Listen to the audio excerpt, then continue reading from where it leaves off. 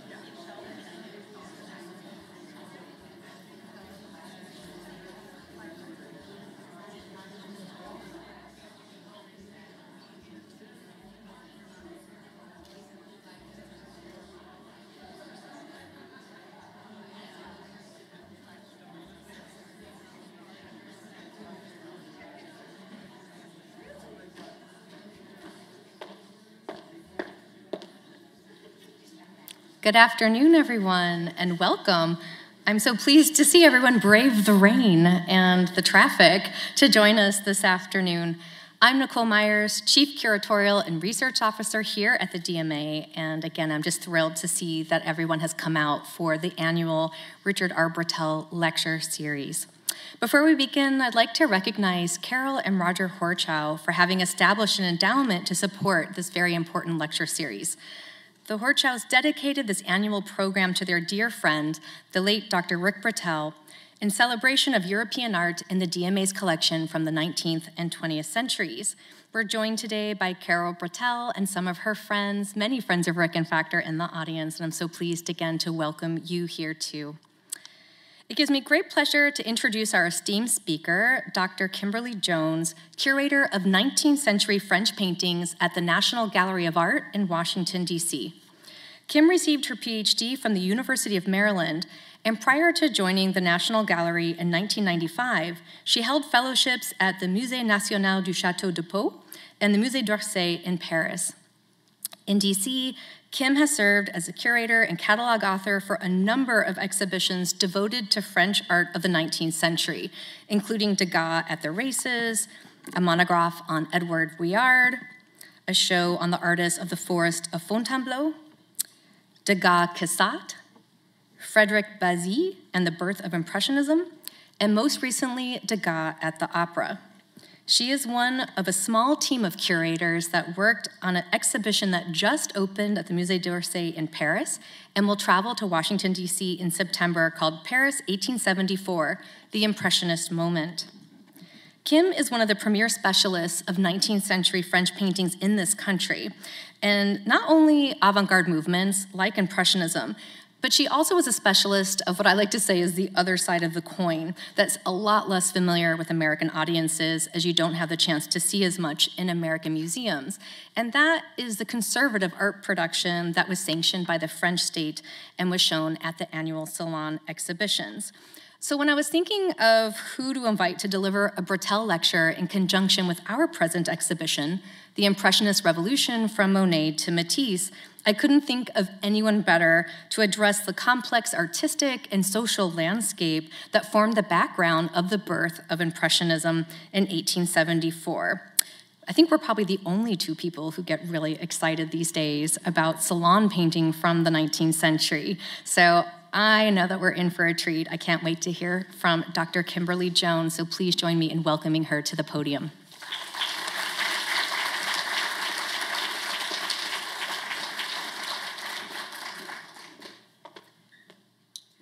Thank you, Nikki, for that wonderful introduction. And actually, my colleague Mary Morton, who's my, one of my co-curators in the show, also loves salon painting. So there's three of us. Uh, but I won't be talking really about salon painting today. We're going to talk more about Impressionism. So there's a really neat narrative around the birth of Impressionism. Oops, this way. I mean, rarely does an artistic milestone have such a precise moment where you can say it began and arguably with Impressionism, it all began on April 15, 1874, at 35 Boulevard des Capucines, when the first Impressionist show opened its doors to the public. It's really, I mean, that kind of precision is quite remarkable. And the narrative flows very distinctly from that point. Claude Monet shows Impression Sunrise, the painting that sparked the name Impressionism when one of the critics, Louis Leroy, rather cattily called the artist impressionist, although, truth be told, he wasn't the only one to use that particular term. From that exhibition, seven artists rise to the fore Paul Cézanne, Edgar Degas, Claude Monet, Berthe Morisot, Camille Pissarro, Auguste Renoir, and Alfred Sisley.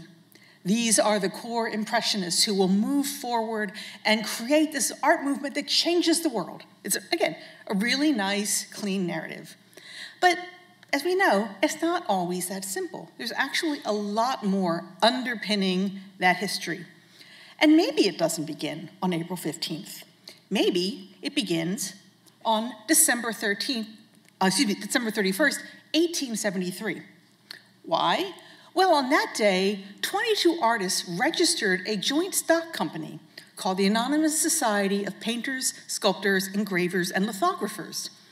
And so what a crazy idea. These artists were creating a stock company where every member basically was a partner. You bought one um, piece of stock for 61 francs 25, or about $300 in today's dollars. And they created basically a business operation. What makes it so unusual is there were no dealers involved, there were no money men. It was only artists, an organization run by and for artists. Now, some of those 22 original signatories never exhibited with the Impressionists. Um, the sculptor Solari, who was a friend of Cézanne, for example, the painters um, Desbrosses and Mettling, they might have signed this particular document, but they never came forward. But they had a plan. This was very well organized. They prepared for the possibility of other artists joining their group. Indeed, they were very enthusiastic about welcoming new partners to the firm. Uh, of course, they had to be vetted and approved by an executive committee, which was chaired by Camille Pissarro, and um, Rouart and Monet were also members of that committee. There was a, they would then get input from the supervisory committee, which was headed by Augustin, um, Auguste Ottin, as well as Renoir Béliard. And so other artists could join them. They had official um, titles. Ottin, for example, was the treasurer. He is the one who collected that 61 franc 25. His son Leon, who was a painter, was the secretary, and he is the one who registered the stock firm. So this is how it came about, this very sort of, very pragmatic and kind of dull sort of business proposition. Um, but nevertheless, it was a very bold and unusual opportunity, uh, um, undertaking. They set themselves up for their first exhibition in the former studio of the photographer Nadar at 35 the Boulevard des Capucines. Nadar had moved to a, another location, so this is where sort of the magic actually happened.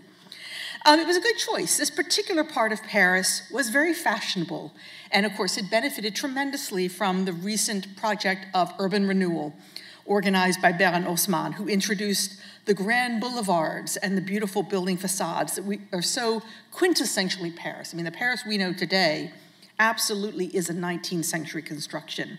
And in fact, the Impressionists would very much embrace that new Paris and the beauty and, and energy of the, the grand boulevards, as in Monet's painting of the Boulevard des Capucines, which was painted from Nadar's studio window looking down at the boulevard. So from inside the exhibition space, he created this painting, which was shown in that first Impressionist show.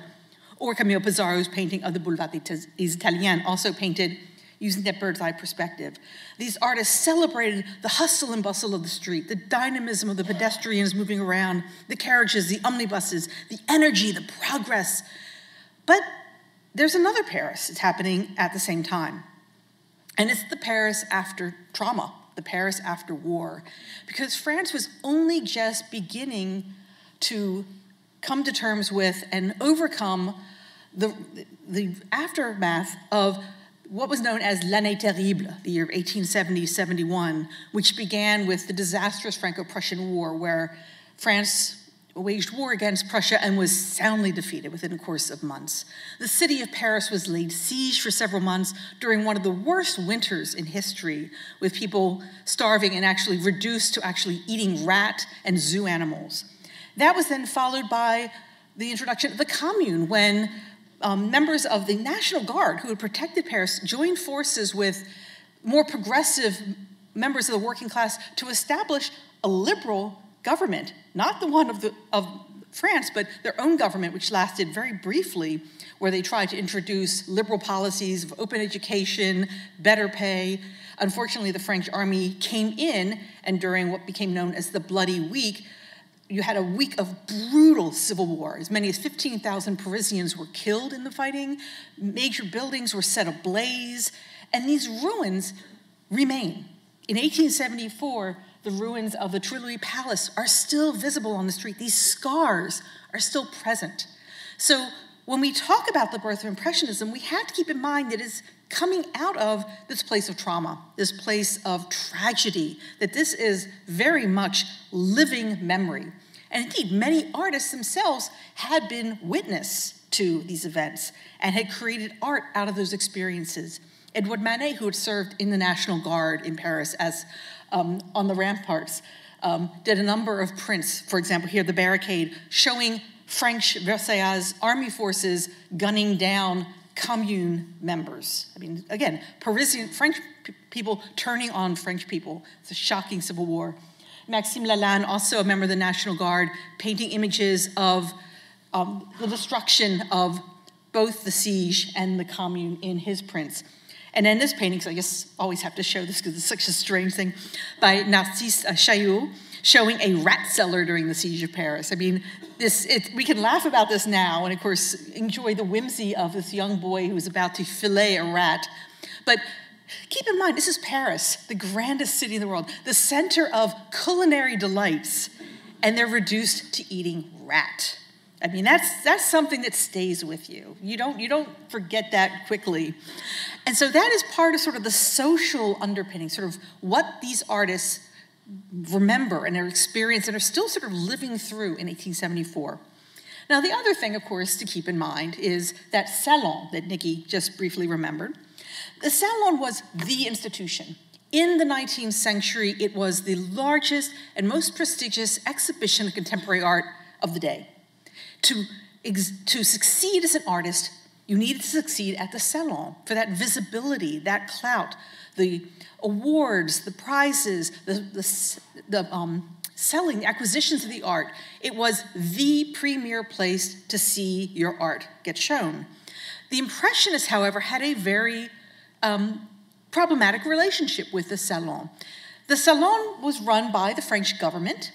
The jury was made up of older artists, many of them members of the Academy, who obviously had a vested interest in maintaining tradition, maintaining the rules and standards and style that they themselves had grown up with and embodied and encapsulated. In fact, in 1874, the president of the Salon jury was Joseph, uh, um, uh, excuse me, uh, Joseph, um, Richard, I'm blanking on his name, um, who actually had won his first medal in 1824.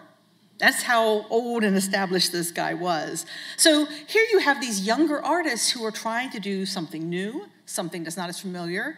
Uh, they did not, they were not winners of the Prix de Rome. They were not touted as great masters of the academic tradition. And they frequently found themselves at odds with the jury. In 1867, the jury was particularly harsh. Was it 2,000 out of 3,000 artists were summarily dismissed? Among them, Claude Monet, his beautiful painting of Women in a Garden, was one of the works rejected in 1867, a fact that led several young artists to actually begin to talk about mounting their own independent exhibition. In fact, Frédéric Bazille, who was one of them, in a letter to his mother said, We have a plan, and we're going to rent out our own space, and we're not going to have juries, we're going to come together and we're going to have our own exhibition. High minded words didn't happen, but it was the idea, the germ of it had been, that seed had been planted. Come 1873, six years later, you have another particularly harsh jury. Uh, with incredibly large numbers of artists being rejected, there was so much outrage, so much protest that reluctantly the state granted a second salon, a salon de refusés, um, they'd done it once before in 1863, which is when uh, Manet's Olympia um, very famously um, was the painting du jour that scandalized people. Um, excuse me, not the Olympia, Déjeuner sur l'herbe. And so in 1873, they do another Salon de Refusé. Only about 400 works were shown. Most artists had learned their lesson that you do not want to be known as a rejected artist. But some, like Auguste Renoir, remained optimistic and exhibited this painting of riding in the Bois de Boulogne. But you can see in 1873, yet another sort of slap in the face to these younger artists, another case of the jury being harsh, being arbitrary, and essentially locking the doors, you know, locking them out from the opportunity of showing their art and advancing their careers. And this finally motivated them for what happens in December 31st, 1873, and the creation of the Joint Stock Company. And then the exhibition had happened. Now, when we think Impressionist, again, we think of those original seven artists. We think light filled landscapes, we think scenes of contemporary life. I mean, the beautiful display that um, Nikki has put on in the galleries gives you a real sense of sort of what Impressionism has come to represent. But in 1874, there was no Impressionism. There wasn't a movement. There wasn't anything coherent. In fact, there's a lot of eclecticism among the 31 artists who exhibited. There's over 200 works that were shown that year. The exact numbers remain a little um, iffy because certain works were just listed as drawings, so we don't know how many drawings, but at least 218 works were on display that year by 31 different artists, most of whom you probably have never heard of in your life. You're not at fault, by the way. That's, that's the reason. So, for example, here we have two artists could not be farther apart in their approach. And what are their motivations? I mean, why are they exhibiting? Well, in the case of Antoine Ferdinand Attendu, who at 28 years old, excuse me, 29 years old, is one of the youngest artists to exhibit with the Impressionists, obviously it's the opportunity to ex exhibit. That's really what's driving him. He made his debut at the Salon of 1872, was among the refusés in 1873, so not surprising, a young aspiring artist sees an opportunity to exhibit, he grabs it with both hands. And so he does indeed exhibit with them, although he also is showing at the Salon that same year, he shows a still life of oysters. And he shows four works in the first impression show, including this absolutely ravishing pastel of a still life with pheasants. If you come to Washington, you will get to see it. It's absolutely gorgeous. I had never seen it in person, and it is really quite beautiful. So he was putting his best foot forward. But after 74, he never showed at the Impressionists again. He goes back to the salon in 1875 and cheerfully exhibits there for the rest of his career, showing domestic kitchen still lives. That's sort of his thing. Then you have a different artist. You have Auguste Ottin, who I had mentioned earlier. At 63 years of age, he is one of the oldest artists to participate in the first Impressionist show. And as I mentioned, he was part of the supervisory committee and the treasurer. But he also came from a very different background. He was an academic artist. He had studied at the French Academy. He won the Prix de Rome, which allowed him to spend three years working in Italy and studying, which is where he made this bust of um, Jean Auguste Dominique Ingres, who was the, um, the head of the Villa Medicis in Rome, uh, sort of the artist who in, actually embodies uh, sort of classical ideals and the academic tradition. Ottin was the recipient of many state um, commissions. One of his most famous is actually he did the wonderful sculpture of um, Galatea and Polyphemus, this in the um, Tuileries Garden, still exists today, one of his most important works. But he also was essentially a socialist. He had very clear, he was very liberal in his politics, and he became involved in the Commune. And he also became part of the Fédération des Arts, the artists who essentially set themselves up during the Commune to sort of oversee affairs of art, the most famous of whom is Gustave Courbet. After the fall of the Commune, many of the people who participated in the Commune, um, they, they, suffered greatly. Many of them were uh, imprisoned, many were transported, were sent actually to the French colonies. Ottin avoided that fate, but he found those commissions that he'd had before, they dried up. He had no more state sponsorship for obvious reasons. So that combined with his personal politics, that he was very liberal minded, very progressive, made him a very willing and enthusiastic participant in the first Impressionist show, where he became the sculptor of that anonymous society of painters, sculptors, and printmakers. He was the only sculptor in the group, showed several sculptures, including this bust of, um, of Ingres. He never exhibited with the Impressionists again either. This was just this one moment in time. Now, other artists were much more fluid in their rationale. Many of them were moved by friendship. Not surprisingly, Edgar Degas was a particularly avid recruiter for the group. He actually had a quite considerable friends network, and he brought in a lot of these other artists. One of them being Giuseppe De Nittis, a young Italian artist, very fashionable artist who'd actually had been doing very successful, doing well this, the salon, showing paintings of high life uh, in Paris, as well as later in London and in his own Italy for Barletta.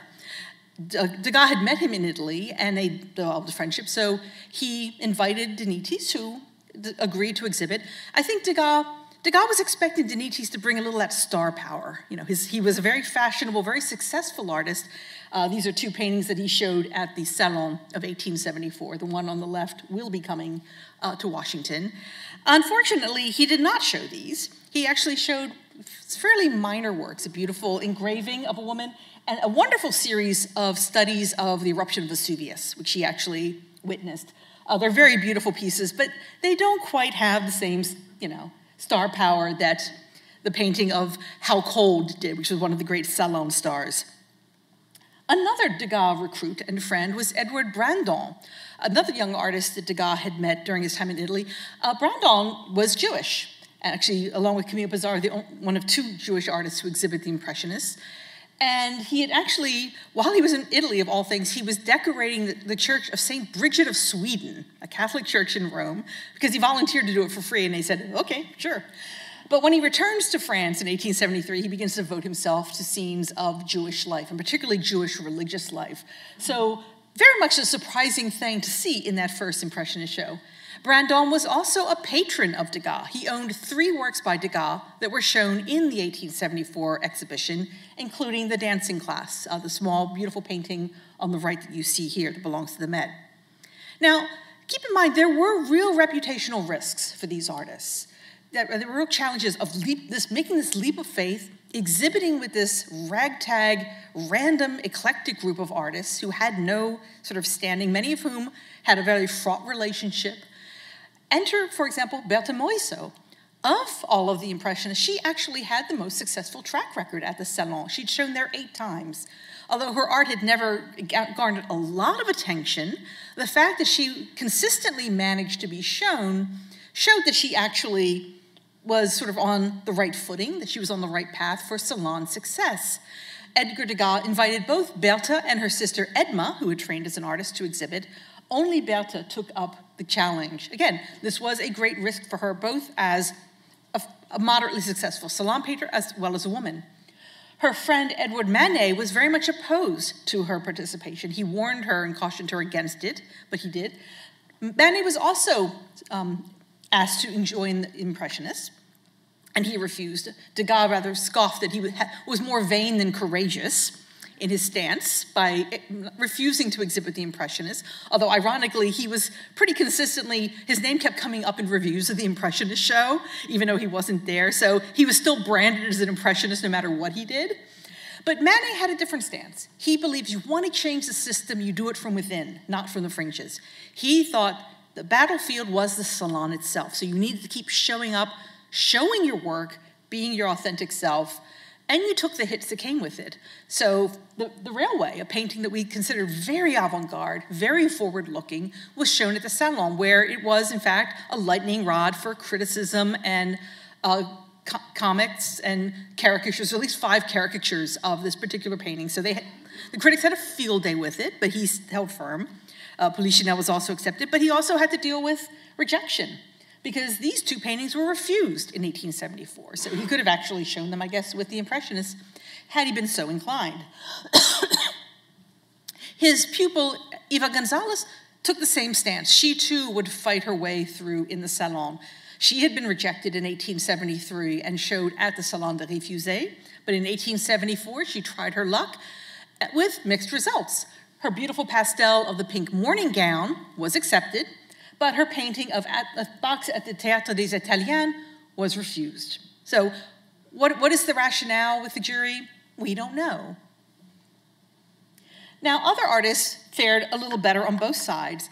And it's important to keep in mind that over time, this notion has come with good reason that there is a clear bifurcation between Impressionists, the avant garde on one side, and the Salon is the rear guard on the other.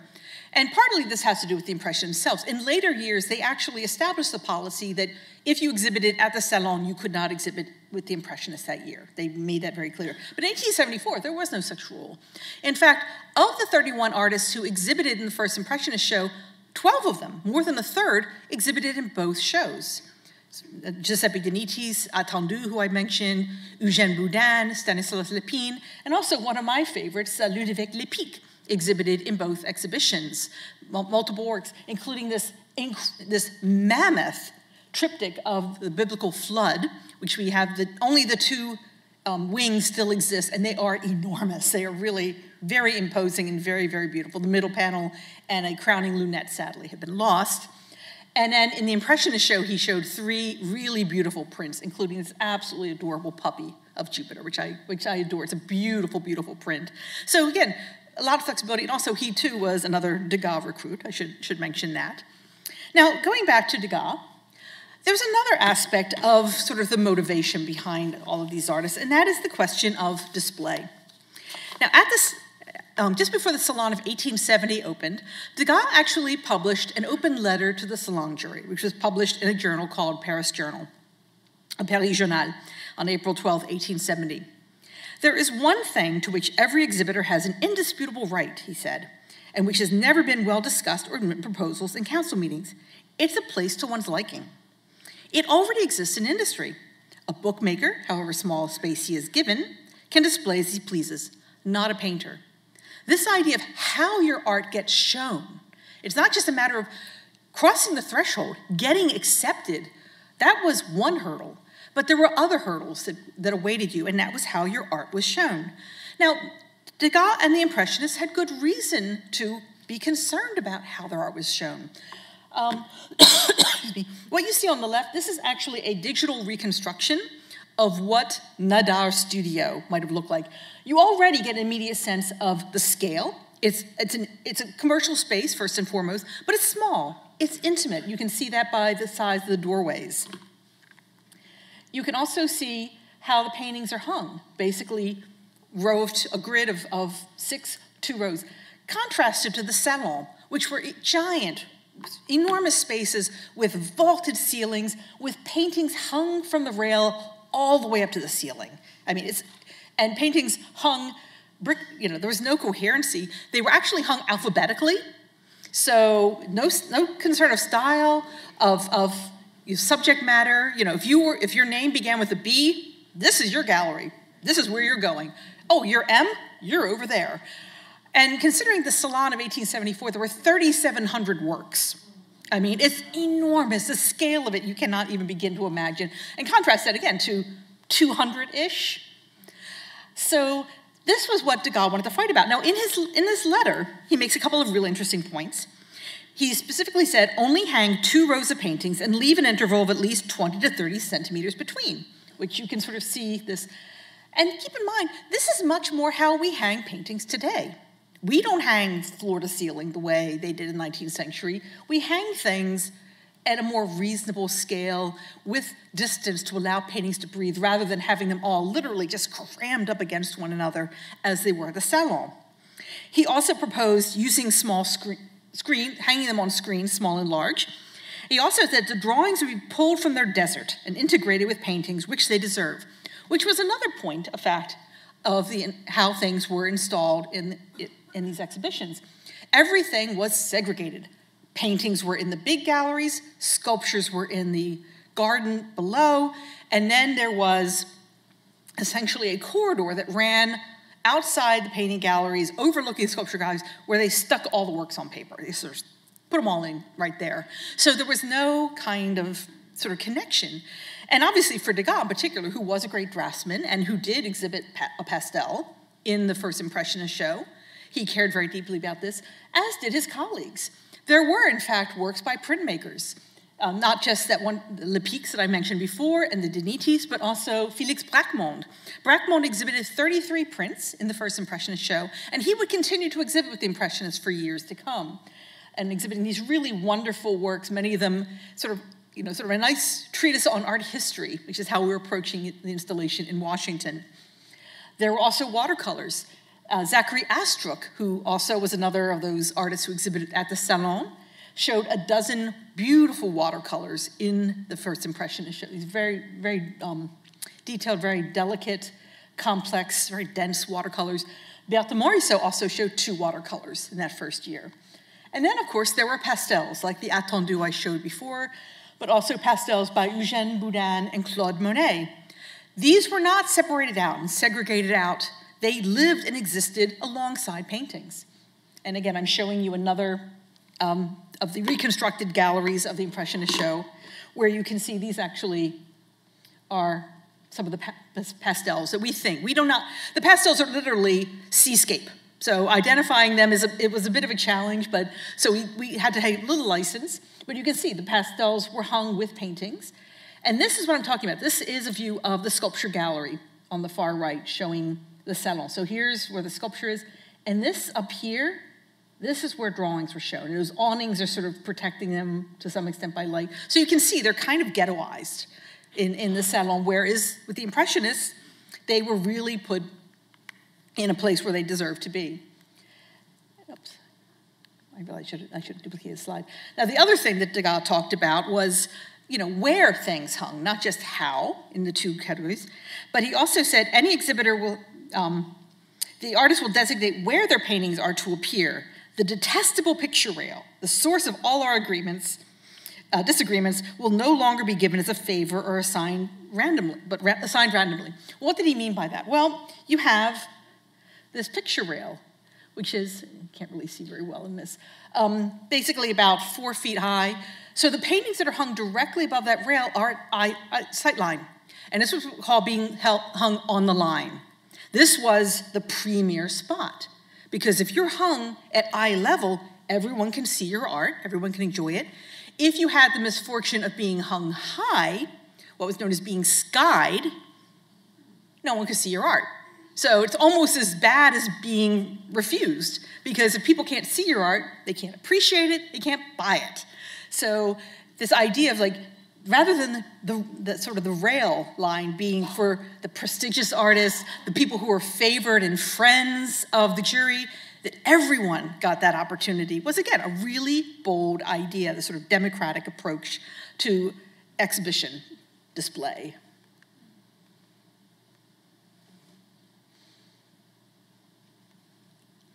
Now, of course, there was another motivation behind all of this, and that's money. Now, let's not be crass. Let's be very pragmatic about this and very realistic. Artists wanted to be paid. And in order to sell your art, it had to be seen. Visibility was chief. That's why the Salon, which essentially had a stranglehold on exhibition, was so essential. It was, in many ways, the only place to show your art. With The grand annual event it was the one, your one chance to have your art be seen. And if your art could be seen, it could obviously get the very practical and obvious you know, rewards. You could get a medal, you could be purchased by the state, and if you're really, really lucky, have your painting hung in the Luxembourg Museum, which was the museum of contemporary art in the 19th century. It was the greatest honor. You couldn't enter the Louvre until 20 years after you were dead, so you had to wait this is where you sort of, this was your holding room before you could actually, hopefully, if you were really lucky, go to Louvre. Even so, there was cachet. There was cachet in that sort of uh, status. Most artists, of course, would not ever have a work acquired by the state, would never actually see their works hung in the Luxembourg Museum. You know, we'll talk about the, the impressions, a whole other matter, but that's a different uh, story for another day. Uh, but you could actually find seller, you find buyers. There was in the second half of the 19th century a very robust and increasing market for art being purchased by a more middle class audience. It wasn't just, you know, for so much of history, it was the church and the state. They were the main acquirers of art, and the very, very wealthy. Art was becoming a little more accessible with the rise of the middle class. And so you wanted your art to be shown as a way of getting it out there to the world to be seen by artists. Now, the Impressionists understood this. They understood the, the very clear link between display and sale. If you wanted to survive and thrive as an artist, you wanted to be professional, you had to pay the bills. And it also was a measure of your success. So the Impressionists decided they would also use this exhibition as an opportunity to sell their art. There were 102 works that were um, intended for sale. And this you're actually seeing, this is a, a copy of an annotated catalog that actually has all the prices, which were not published in the catalog per se. These are handwritten notes um, to sort of give a sense of sort of what kinds of prices they were, were asking. It's very interesting that Berthe Morisot was actually pretty modest in her pricing compared to Monet, who was uh, a little more aspirational, shall we say. Um, the work, you know, the, he has um, for example, the painting, the, the luncheon, uh, which he had marked as 5,000 francs. Uh, this, that was a pretty ambitious price to be had, but he felt very confident that it was a reasonable price for this painting. It's a very large um, interior scene, which very happy was not in Paris, but will be in Washington, so you'll get to see it there. It was also a painting that was rejected from the Salon of 1870. So this exhibition offered an opportunity for Monet to present this painting, which obviously was very important to him, which was a major investment of time and energy that he very consciously, it's also a little bit of an outlier when you see the other things. When you think Impression Sunrise, this you do not think in the same, you know, as sort of the same sort of moment.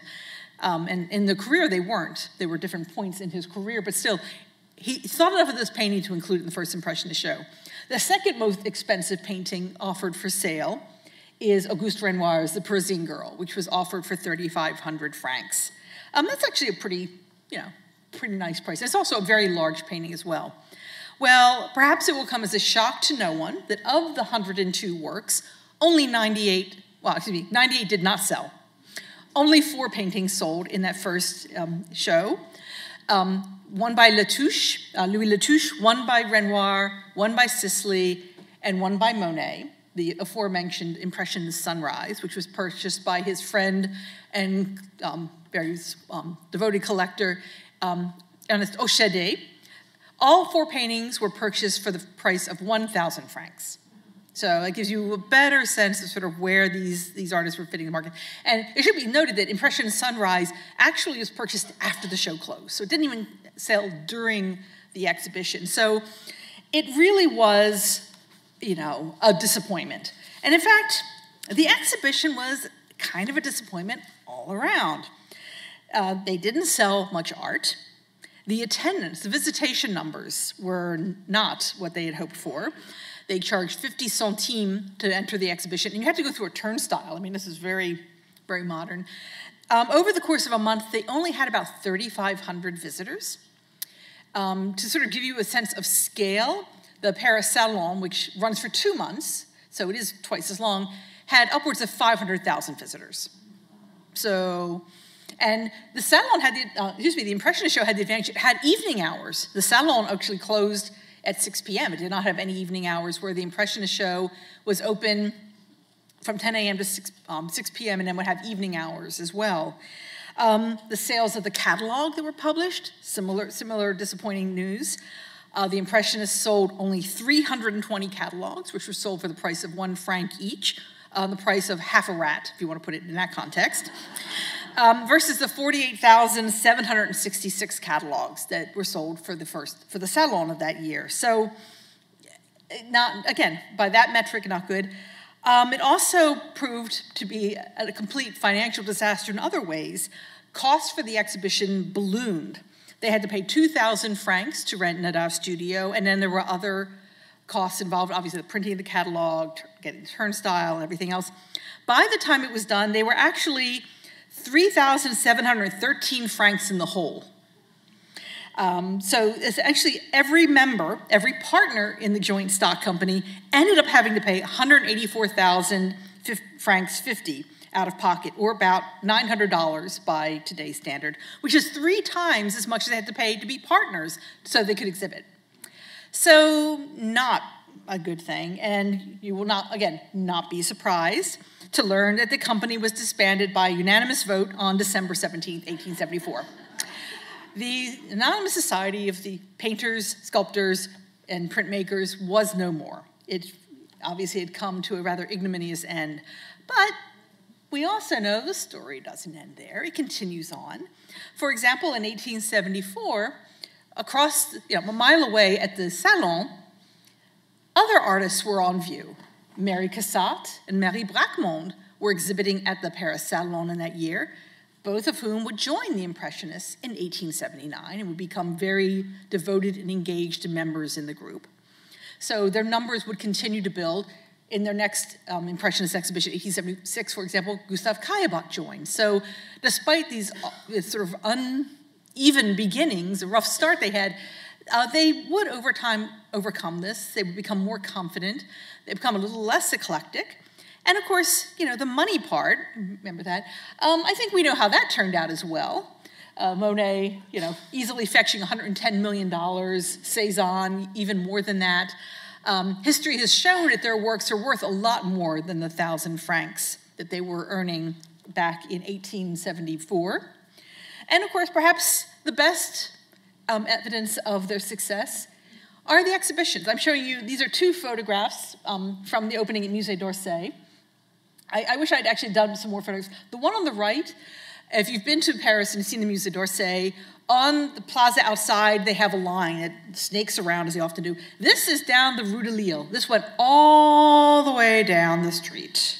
These are people getting to go into the museum. Now, I'm not saying they were all there to see my exhibition. Would, I would, but they were there for the museum that's devoted to Impressionism. They were there for the Impressionists. And I can't help but think that could Monet, even in his most fevered imaginations, would he ever have considered that there might come a time where people would stand four deep just so they could get a photograph of Impression sunrise? Could he have ever imagined that level of fame? That this painting that had, you know, caused such, you know, sort of a shock in 1874 had led to such criticism that now I, someone recently told me, I think appropriately described it as the Mona Lisa of Impressionism. Could he ever have dreamed that something like that would happen? I don't think they could have. So, and at the end, the Impressionists have the last laugh. They might have been criticized, they might have been mocked, they might have uh, impoverished themselves in their endeavors to show their art to the public, but with time, they triumphed.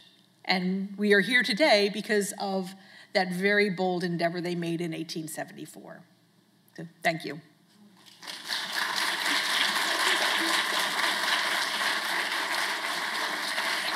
Um, I'm very happy to take some questions. I know there's going to be people with. If you wouldn't mind, please raise your hand if you have a question, and us two will come around. The subscription agreement to the Société Anonyme, uh, after the names, there were numerals and frequent. That was, that was their street addresses. That was what? So that's that had their street address. Yeah, sorry, it's very hard to see, it's very small.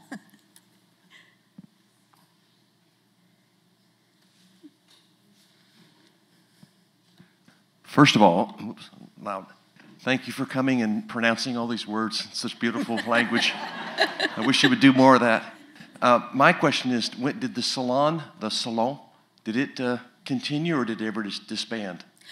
The salon continued actually it still continued well into the 20th century, but it was, it was very much in its decline. It was still, you know, was still very popular with people. I mean, it had one advantage that it had two free days, so you know, it was a good time with the, the kids and the fam on a Sunday. You know, go to see the salon, see the art. But over time, it lost a lot of its allure, partly because increasingly there were more of these independent exhibitions. More and more, there was more opportunity, more art, more interesting things happening outside the salon. So it continued to sort of, you know, roll along. But it's interesting, the following year, 1875, the attendance numbers dropped, had lower attendance, lower catalog sales. So it's already beginning. So, as I said, in 1874, you know, salons here, impressionism there, but over time, that, that, that changes quite a bit.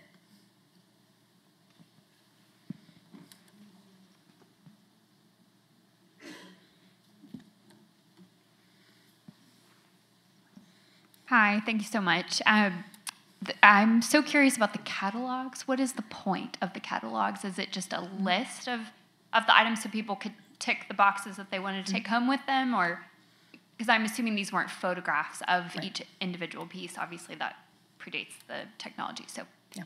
Sure. Well, the catalog, I mean, there are no labels. There are no wall labels in these rooms, so you don't know what you're actually seeing. So the catalog was partly so you would have a record. It's, it's probably more useful when you go to the, see the salon with the 3,000 objects. All they have are numbers. So you see a, a number on the frame. If you want to know who painted it and what the title was, and if, for example, you wanted to know, oh, I want to buy this, where does the artist live? Oh, there's his address in the catalog. So it really was for that purpose. And then there's actually a couple pages in the back where usually where it was blank, you write notes to yourself. So that was sort of the purpose. Now we give wall labels, so you don't have to worry about buying the catalog if you don't want to.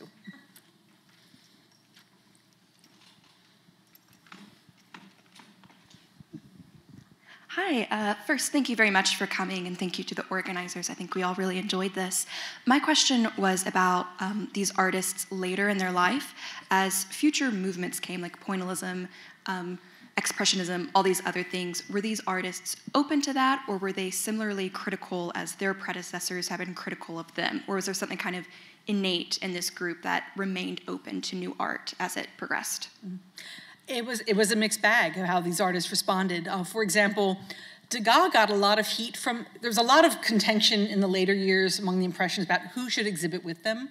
Degas invited a lot of his realist friends like Raffaelli, but he also invited Paul Gauguin. Georges Seurat exhibited in the 1886 The Final Impressionist Show. So some artists were very open to these new movements and really wanted to support them.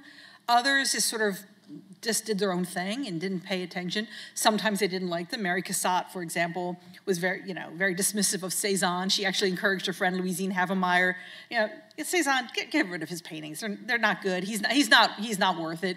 So, you know, so it, it, it was, the response was as varied as and unique as each of the artists themselves.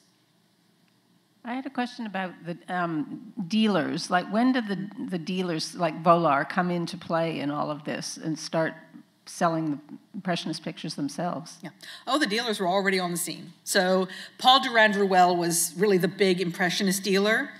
And this also became a bit of a complicated thing because Durand Ruel, France has sort of been struggling financially after the Franco-Prussian War.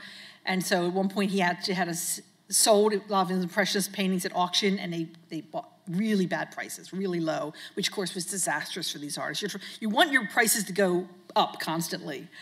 But Durand Ruel was definitely there. In fact, we actually, I think, as Americans, I think we owe a big debt of gratitude to Paul Durand Ruel, who in 1886 hosted the first Impressionist show in New York, which proved to be enormously successful. Americans loved Impressionism from the jump. And so he was, he was very active. He, you know, he started Barbizon art, but he was buying and selling Impressionist works in the 70s. And of course, then you also have Vollard in particular and other dealers coming along as they began to recognize um, who it was. But at this point, 1874, it's kind of Durand was the only one who really was willing to take that gamble.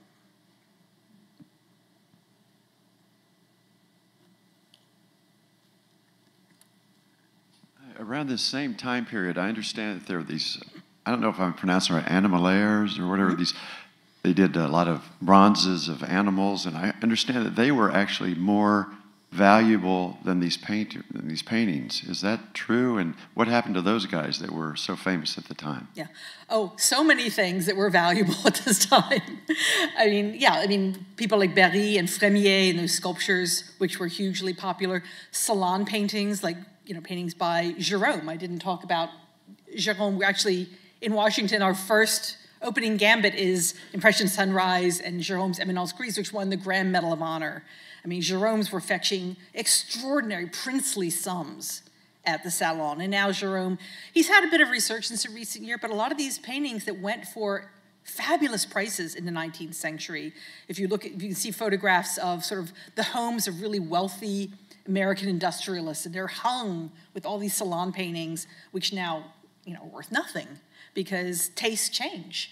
You know, something that went for 10,000 francs in 1875, you know, wouldn't be going for a comparable price today. Again, it's just because tastes change, and some, some things hold value better than others, but it's all arbitrary at the end. It's what you're willing to pay for a painting or a sculpture.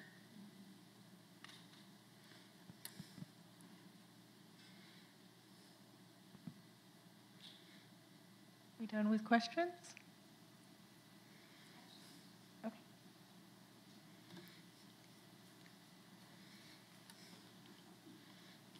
I came in just a few minutes late. I apologize. Did you talk about what's going on at the National Gallery of Art? Do you want to talk to us about this exhibition that you have going on? I didn't, but I'd be very happy to. Thank you. Um, so, yes, so this exhibition, Paris, um, 1874, The Impressionist Moment, um, is a co-production with the Musée d'Orsay. Uh, we're just opened last month and will be coming to Washington in um, September 8th through January 19th. So you've got four months during which to see it. Uh, includes 130, actually, no, we, we 125 works, um, including many works that were in the First Impressionist show, but also in the Salon of 1874, because with small exceptions, we have one room devoted to the Franco-Prussian War. Apart from that room, everything you will see in this exhibition was on view in the spring of 1874. So we, you know, we tried our best to reconstruct the first impression show as much as we could, but it's hard. There are things that are really we, we couldn't track down or we couldn't get for various reasons. And obviously we were not going to have 300, 3,700 salon works, but we did want to give people a real sense. So these are the things that if you were a visitor to Paris in spring of 1874, you could have seen these things. You could have experienced them firsthand. And unlike some earlier you know, exhibitions about the Impressionist show, which tended to focus on the big seven, you know, the major names, and the paintings, it's an exhibition that really tries to also really pay homage to the diversity, complexity, eclecticism of the First Impressionist show by including some of the lesser known names like Astruc and Lepic and works of different media. So it gives, I think, I hope, uh, a better understanding of kind of what that first enterprise was really all about, how sort of catch as catch can it was. There was no, there was no clear aesthetic through line. There was no sort of stylistic element that united all of these artists. We think of those things. The subjects are, are not unified. There's nothing unified. It was basically 31 artists who said, I want to show my art. I want to decide what I want to show, and I want to decide how I'm going to show it. Although in the end, it was actually Renoir who kind of did the installation, so you know they kind of all all bailed on him and left him behind sort of holding the bag. But all of these artists had that same. I want to show my art, and I want to control how I show my art and how people see it and, and experience it.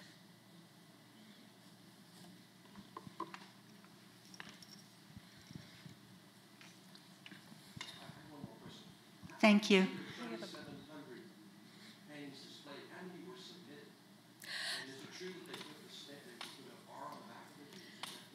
All right, yes, uh, two questions. One, how many works were submitted? It was actually over, I, I, I can't remember the exact number. It's in the catalog because I wrote that essay. It was over 5,400. And they weren't all paintings. It's also paintings, works on paper, sculptures, various things. That's, there's that story that there was an R stamped on the reverse of the canvas. I have never seen that R. No one I have ever talked to has ever seen that R. Did it exist? I don't know. The, the story is always told that refused paintings got stamped with an R for refusé, and they carried that like the you know the scarlet letter throughout their life. I have never, and no one to my knowledge has ever said I've actually seen one with my own eyes. So that it's interesting. It's a curious story. So if any of you ever seen one or heard of anyone, please direct them to me. I'd love to know. In the uh, uh, first four paintings that were shown, you or sold, pardon me, you gave the price in French francs. Mm-hmm. Do you have any idea of what that would be worth in U.S. dollars today? see, so if 61 francs was um, was it 200? What did I say? I wrote this down. Um, it's I probably should have looked that up. You're absolutely right. Um, if someone has a, a calculator and wants to do the math for me, so it was. So 61 franc 25 was $300.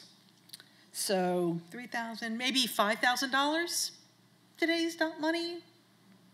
It's not, it's not a ton of money, but again, also have to, the thing you can't factor in is inflation and how much things cost. I mean, $5,000 in 1874 went a lot farther than $5,000 does in 2024. So it's, it's, always, it's always challenging to sort of do those kinds of translations. But, but you know, I mean, when, you won a medal at the, the Salon, the, the um, gold medal actually came with a $1,000 stipend.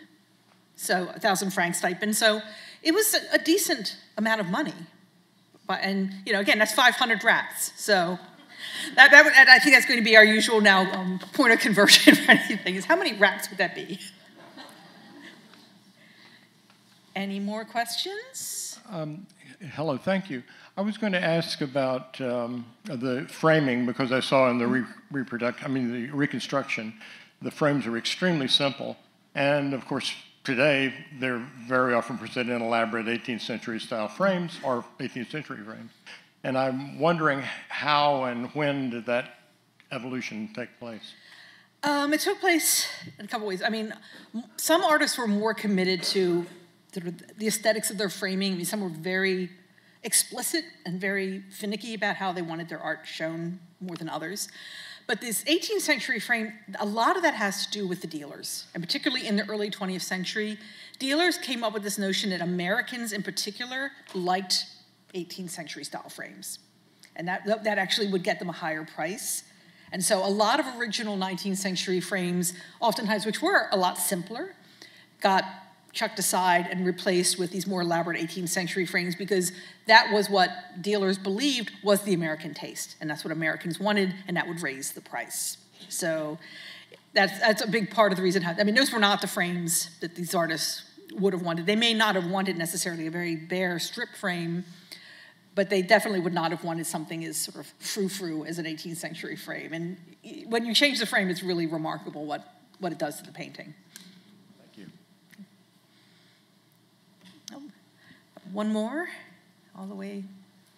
We've got time for. You just have to wait for me to go all the way up these stairs.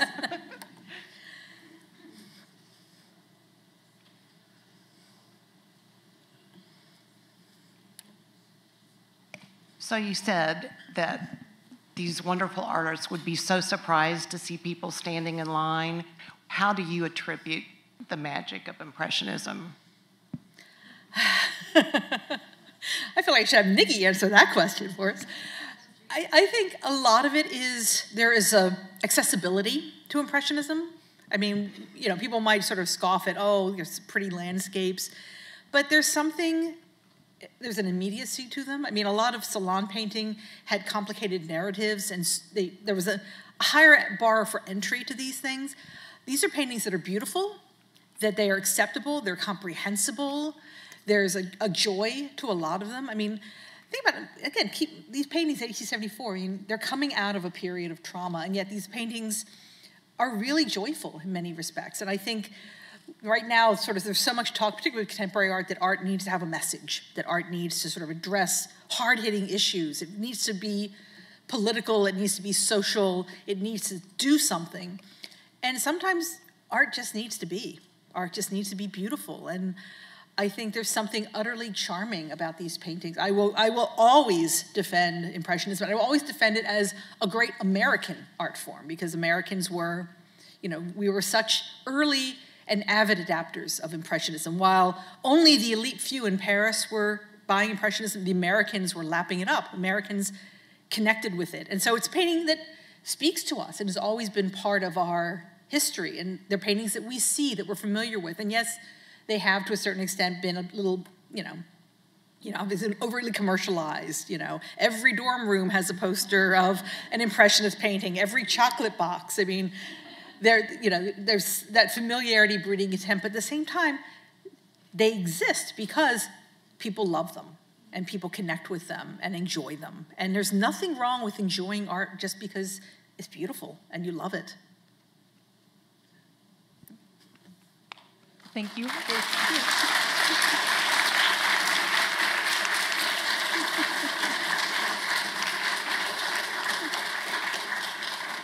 Thank you all so very much. And if you haven't done so, please do check out the exhibition. Have a great rest of your Saturday.